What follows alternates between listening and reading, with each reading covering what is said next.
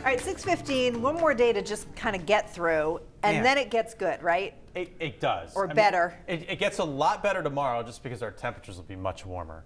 And then it gets really sweet. Like finally an extended stretch of sunshine. And So if you were going to take like next week off, like that would be a great week to have off, right? it, it What would brilliant be. human might have It planned that? Uh, what? I'm off next Uh, week. What? I, d- I didn't even know that. Are you sticking around or are you getting out of Dodge? I am. I am purging the house that I have lived in for more than 20 years. Oh my gosh. Like dumpster and everything? Yeah, yeah. Heads up, Oh, nice. you know, way station or whatever it's called now in in my town. Yeah. coming, coming in, Coming in hot. Coming in hot. Nice. You gonna put a lot of that stuff at the swap shop or no? Is Some of it, Is it just going straight? Some of it'll go to Goodwill, but a lot of it'll Yeah. just go to the heap. Alrighty, let's uh, let's chat a little weather, shall we? It's uh, April, it's spring, yet it's going to be a little wintry around here later today. A lot of Maine has winter weather advisories for this afternoon through tomorrow morning. Icing a big concern. Along the coast, there aren't any. We're going to stay near freezing or above it, so I do not expect any problems for the coast.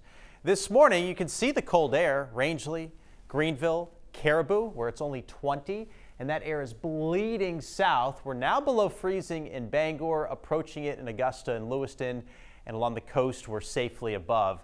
There is some precipitation out there, but it's super, super light and it's very spotty. A couple of sprinkles, pellets, or flakes. I think our commute is fine though, based on what I see.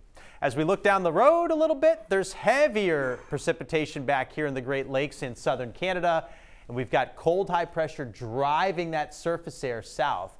So that will encounter much colder conditions, and that's why we're going to have an icing concern later today and tonight.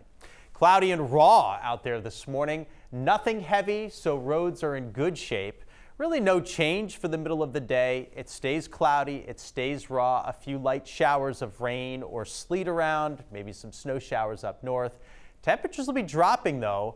As I just showed you, it's around 40 in Portland, but it'll be mid 30s this afternoon. And Lewiston, Augusta, Bangor, Bar Harbor, we're all right around 32. This evening is when that steadier precip arrives that I just showed you in the Great Lakes. 5 o'clock, we have sleet and freezing rain over the interior, some snow up north, and that expands as the evening progresses. Rain showers, freezing rain showers, and some sleet up north. And that's when roads after dark could start to get a little slick away from the coastline.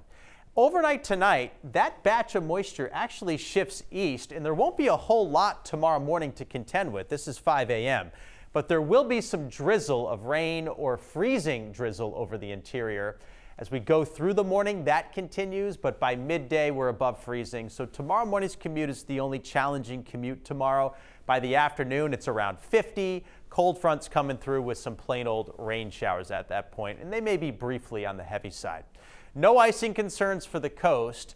Inland, I do expect glazes on limbs, branches, decks, stairs.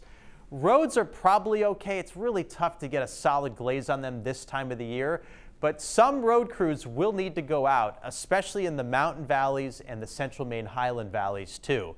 And you're probably asking why there isn't as much ice up in the county. That's because the entire column of air is going to be below freezing, and that supports more snow, like two to four inches of snow from Millinocket north and then a little glaze of ice on top of that. But it's more snow up north than it is ice. In between, it's the icing concern. By Friday, we're clearing out. Saturday and Sunday both look gorgeous. A little crisp on Saturday, mid 40s. Easter Sunday, 50 degrees. That great weather looks like it'll hold next week, too.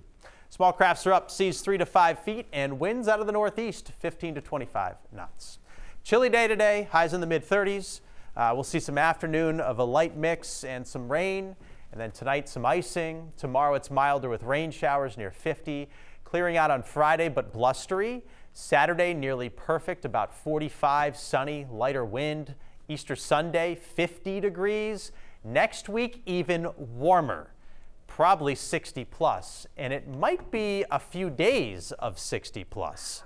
Like a nice little stretch there going into next week. Happy birthday to you, Mr. Gutner. I know, I can't wait. What do you get for yourself? There you go. Uh, nice weather. All right, I'll take it.